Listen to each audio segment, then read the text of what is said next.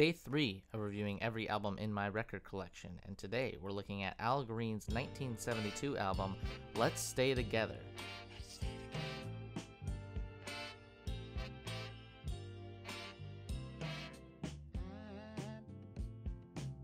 Released in 1972, this classic soul album captures the warm feeling of love through its gorgeous production and Al Green's soft, soulful voice. This nine song LP covers nothing but love as Green jumps between heartbreak, longing, and infidelity. The hit song here, Let's Stay Together, the title track, kicks off the LP with punchy horns that remain a staple throughout the album as they cover just about every track here with their blaring yet warm, brassy sound. His cover of the Bee Gees' How Can You Mend a Broken Heart manages to outdo the original and make the track feel more grand and personal than the original. But to me, the real charm of this album is the overall sound and production, which feels fuzzy, soft, warm, and nostalgic for a time that I didn't even exist in.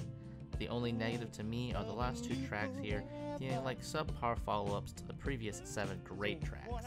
This remains a classic soul album, and at only 34 minutes, it's a worthwhile, joyful listen.